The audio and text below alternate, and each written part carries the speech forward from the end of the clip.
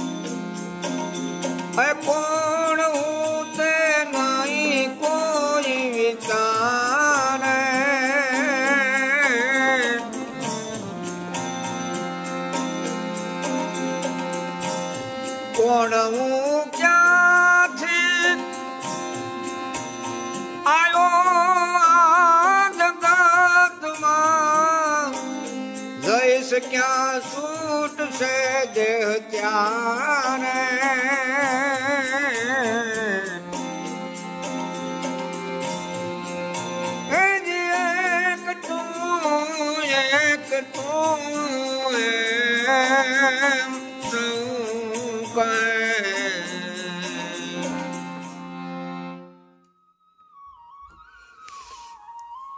આ વાણીના શબ્દો આ દેશની એક મહાન વિભૂતિ એવા સંત શ્રી નરસિંહ મહેતાના આ શબ્દો છે.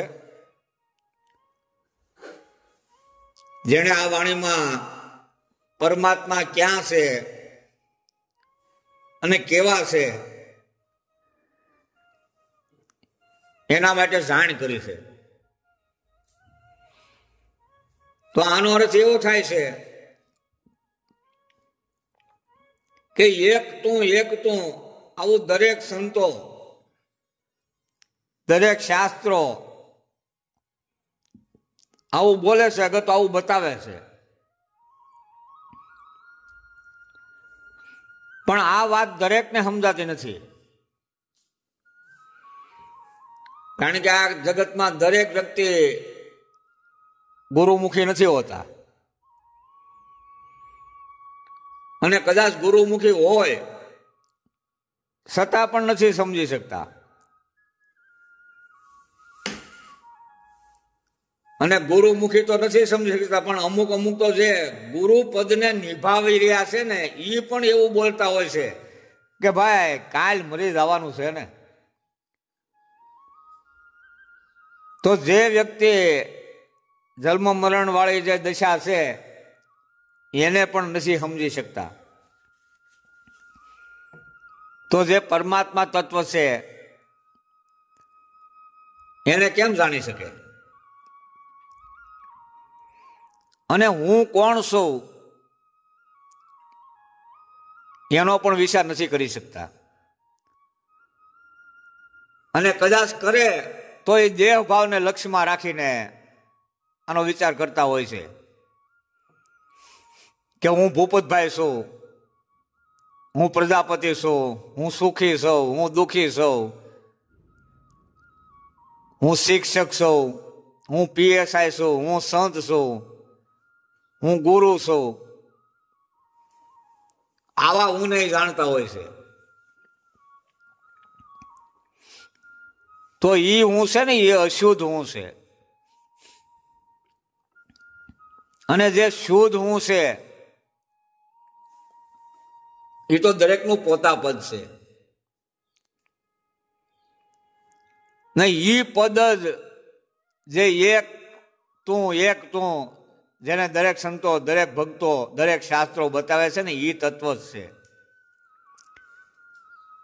એ શુદ્ધ, હું જ આત્મપદ છે. તો જે આત્મપદ છે એ એક જ છે. પણ એના સ્વરૂપ ત્રણ પ્રકારે મહાપુરુષો વર્ણે છે. તો એનું પેલું સ્વરૂપ એવું છે કે જળાત્મા સ્વરૂપે હોય છે. તો એનું હોવું એવું છે કે પોતે પોતાને નથી જાણતો અને બીજાને પણ નથી જાણતું. આવું જે પદ છે ને એ જડાત્મા પદ છે. એ એનો સ્વભાવ છે. આ જડાત્માનું હોવું છે. અને બીજું એનું સ્વરૂપ એવું છે ઈ છે જીવાત્માનું. તો એનો સ્વભાવ એવો હોય છે કે જીવ બીજું બધું જાણે. કે આ ખુરશી છે, આ પંખો છે, આ મોબાઈલ છે, આ કાકા છે, આ મામા છે. આવી રીતે આખા જગતને જાણે જીવ. પણ પોતે પોતાને ન જાણે. આ બીજો આત્માનો સ્વભાવ છે. અને ત્રીજું આત્મપદ એવું છે, એનું સ્વરૂપ એવું છે કે પરમાત્માનું, પરમ આત્માનું. એનો સ્વભાવ એવો હોય છે કે બીજું બધું જાણે અને પોતે પોતાને પણ જાણે. તો જે પોતે પોતાને જાણે ને, એ પરમાત્મા પુરુષ છે. અને એ શુદ્ધ હું છે. અને એ જ એક તુહી એક તુહી એ તત્વ છે. પણ જરૂર છે હાસા સદગુરુના જ્ઞાનની. અને આવા જ્ઞાનમાં સ્થિતિ રાખવાની.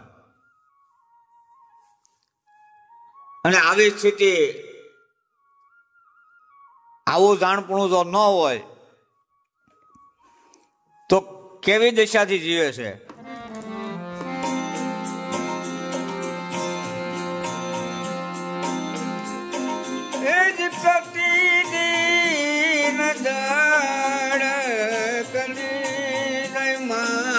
માંગતો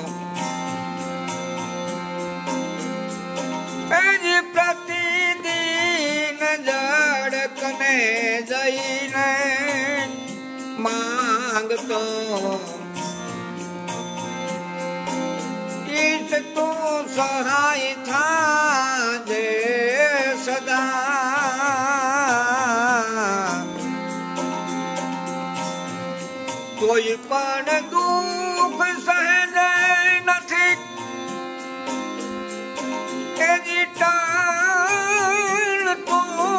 મથી મથી થાકતો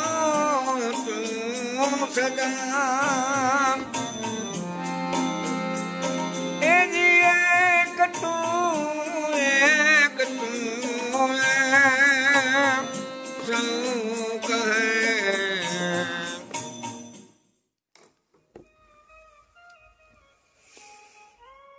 તો આનો અર્થ એવો છે કે જે મંદિર છે, એ જડ છે.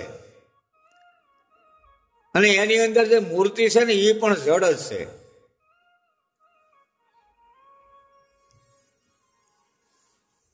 તો આ મૂર્તિ જે જડ છે, અને પોતે તો ચેતન છે.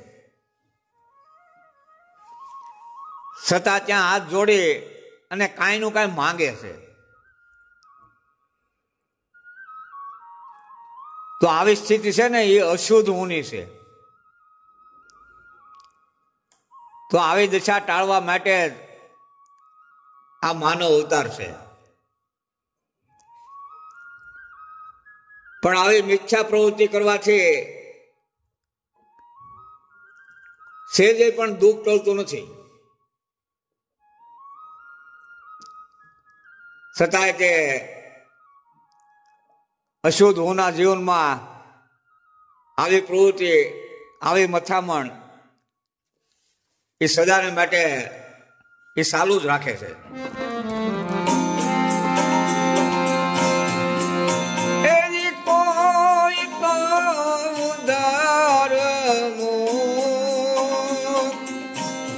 ગગન તાકતા કોરિતા ઉદરવા મુખે ગગનમાં તાકતા વાગતા મુખે નામ રવાણી.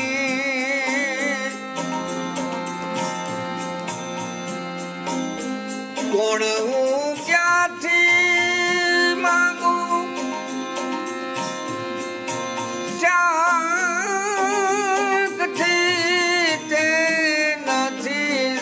જ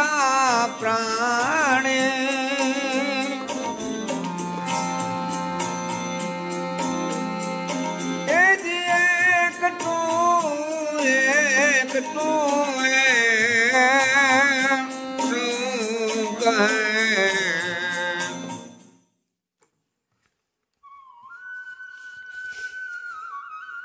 તો આનો અર્થ એવો છે કે જે એક તુહી તત્વ છે, એને પામવા માટે શાસ્ત્રોમાં ત્રણ માર્ગો સંતોએ, ઋષિ મુનિઓએ બતાવ્યા છે. તો એ માર્ગ છે કર્મ, ઉપાસના અને જ્ઞાન. તો આપણા દરેકના જીવનમાં કાં કર્મની અને કાં ઉપાસનાની અને કાં જ્ઞાનની પ્રવૃત્તિ હાલતી હોય છે.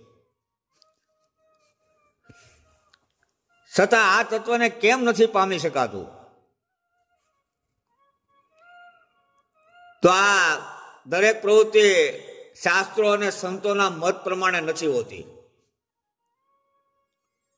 માટે આ બધો મિથ્યા પરિશ્રમ જ થાય છે. આ તત્વને પામવા માટે સમજણની એટલે કે જ્ઞાનની જરૂર છે. આ તત્વને આખી જિંદગી ભૂખ્યા રહેવાથી નહીં પામી શકાય.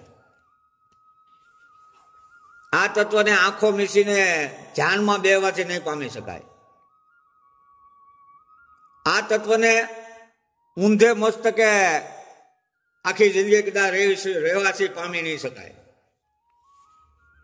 આ તત્વને જો પામવું હોય, તો બ્રહ્મનિષ્ઠ બ્રહ્મચોતરી એવા સદગુરુના જ્ઞાનની જરૂર છે. એ જ્ઞાનથી જ પામી શકાય છે.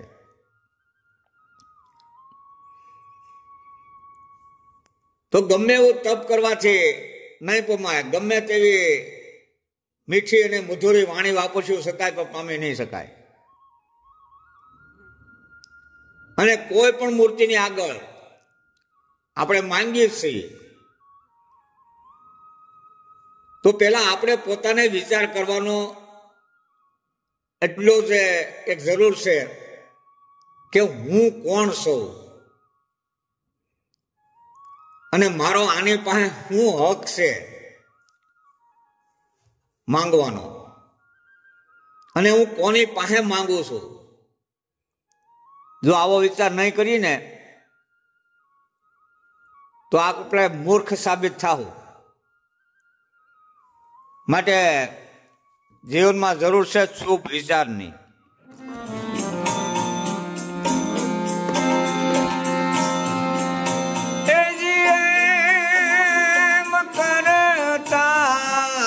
કદી લાગજો પામીએ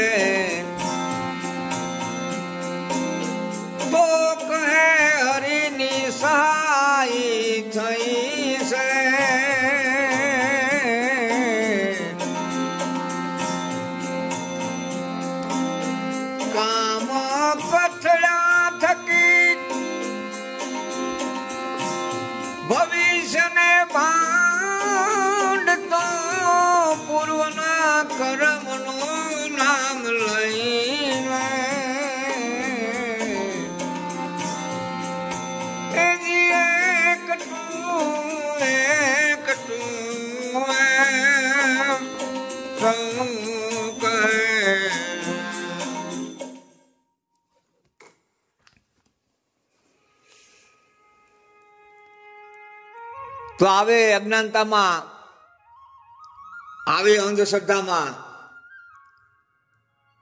કદાચ કાયમી ભગવાન પાસે માંગતા જ હોય અને ક્યારેક કાગડાને બેહવું ને ડાળને ભાંગવું, એવું તો બની જાય. અને કાંઈક કદાચ લાભ મળી જાય. તો આપણે એવું બોલીએ છીએ કે ભગવાનની દયા આપણે મારે થઈ ગઈ હવે. હવે મારી ભક્તિ ફળી. ભગવાને હવે સામું જોયું. અને જો જીવનમાં કાંઈક અણબનાવ બની જાય, મોટી નુકસાની આવી જાય, તો ભગવાનને દોષ નથી દેતા. અને આપણા કર્મને દોષ દઈએ છીએ. આ તો ભાઈ મારા ભાગમાં છે બન્યું. તો આના માટે ભગવાન ગીતામાં બોલે છે કે, હે અર્જુન, હું કોઈને સુખ નથી દેતો અને હું કોઈને દુઃખ નથી દેતો. હું કોઈને દુઃખી નથી કરતો, હું કોઈને સુખી નથી કરતો. દરેકનું સુખ દુઃખ એનું કારણ છે ને એનું પારબ્ધ છે. પારબ્ધ દરેકને એને સુખ દુઃખ આપે છે. તો આ પારબ્ધને જો ટાળવું હોય તો જીવનમાં સ્વરૂપના જ્ઞાનની જરૂર છે.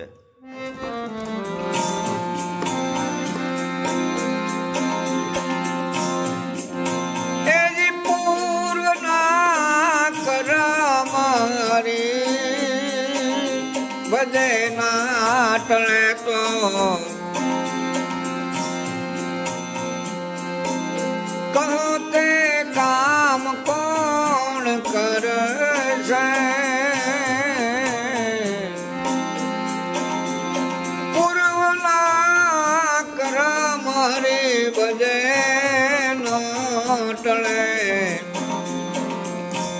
કહો તે કામ કોણ કરશે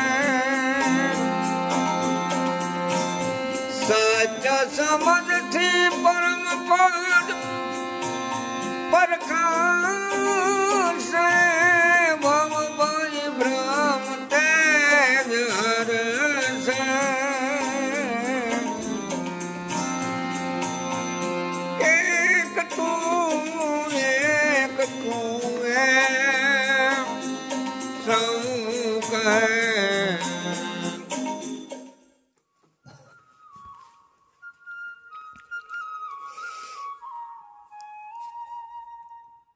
અને સંતો અને શાસ્ત્રોનો એક સત્ય અટલ સિદ્ધાંત છે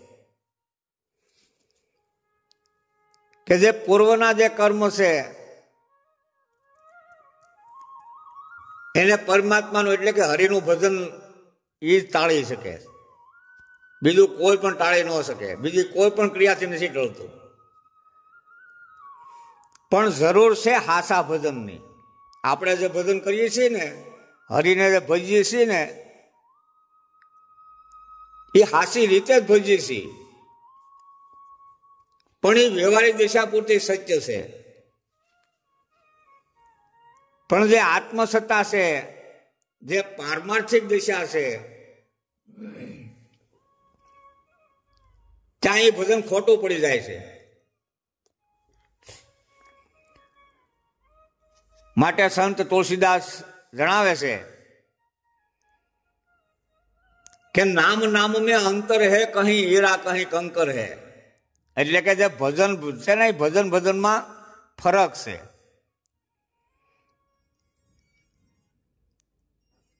એક હરિસમરણ, એક હરિનું ભજન એવું હોય કે આખી જિંદગી એનું ભજન કરો, એનું ફળ એક મુઠ્ઠી કાંકરા મળે. અને જે મહાપુરુષનું બતાવેલ, સદગુરુનું બતાવેલ જે નામ છે, એનું તો ભજન કરો તો એક મુઠ્ઠી હીરા મળે. તો આ ભજન સદગુરુની સાવી છે.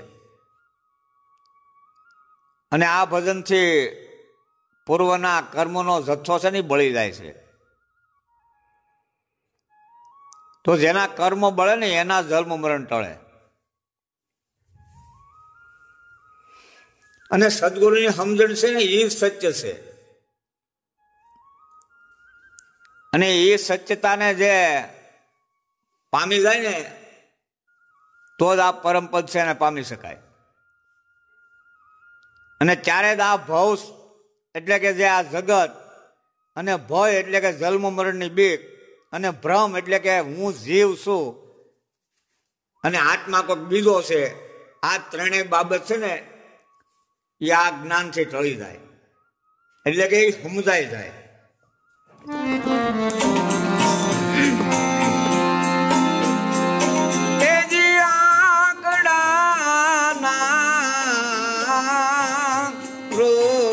તેજી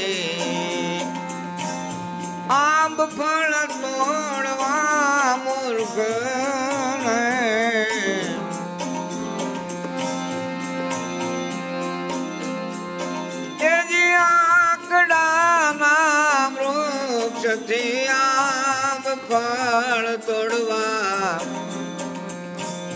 મૂર્ખો જો કદી કાજે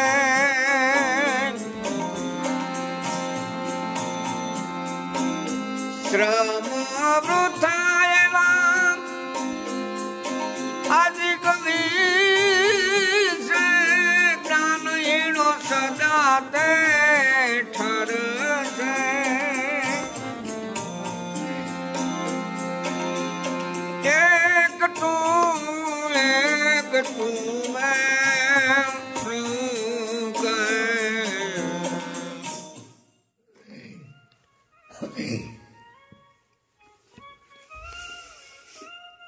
તું આનો અર્થ એવો થાય છે કે આંકડાના ઝાડમાંથી કેરી પાકશે આવી આશાથી જે જીવન જીવતો હોય ને એ મૂર્ખો છે તો આનો અર્થ એવો છે કે જે જીવનો જે દેહનો જે અધ્યાસ જે રાખે છે, તો આ જીવના અધ્યાસથી ક્યારે મુક્તિ નથી મળતી. તો આ જીવ છે ને એને જ્ઞાન વિના મુક્તિ નહીં મળે. માટે કોઈ પણ ક્રિયાથી અખંડ સુખની પ્રાપ્તિ ક્યારેય નહીં થાય.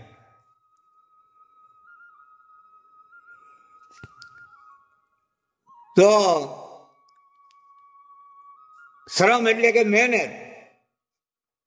બીજી બીજી ગમે એટલી મહેનત કરો ને, એ બધી ખોટી છે.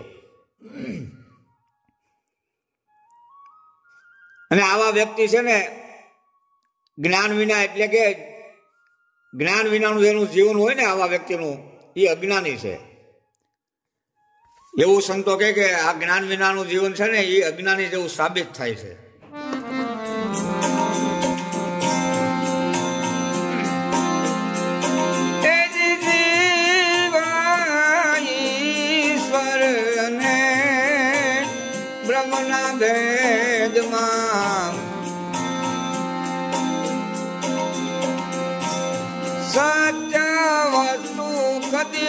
કદી જડ છે.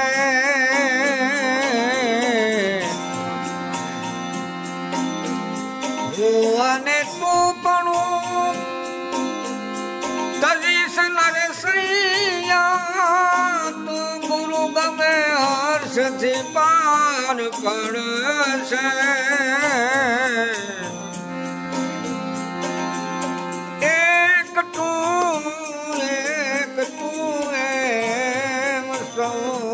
સૌ કહે કોણ હું તે નહીં કોઈ વિચારે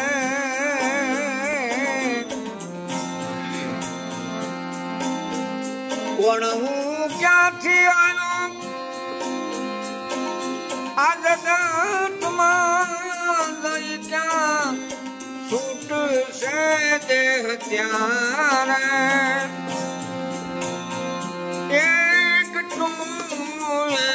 તો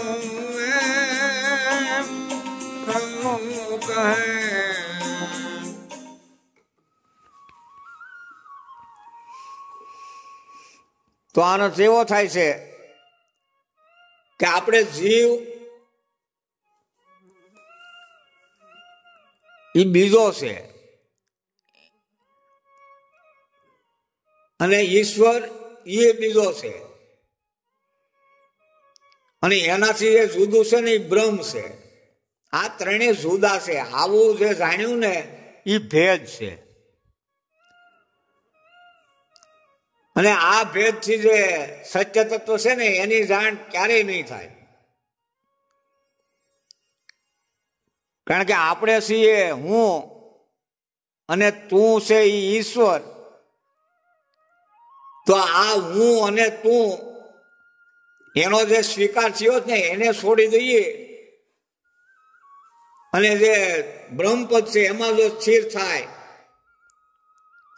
તો હે નરસિયા આ સદગુરુના જ્ઞાન છે, આ આનંદ છે, સદાને માટે તારી સ્થિતિ આનંદમાં થઈ જાય અને આ ભવજલથી તું પાર ઉતરી જાય. સદગુરુ ભગવાનની જય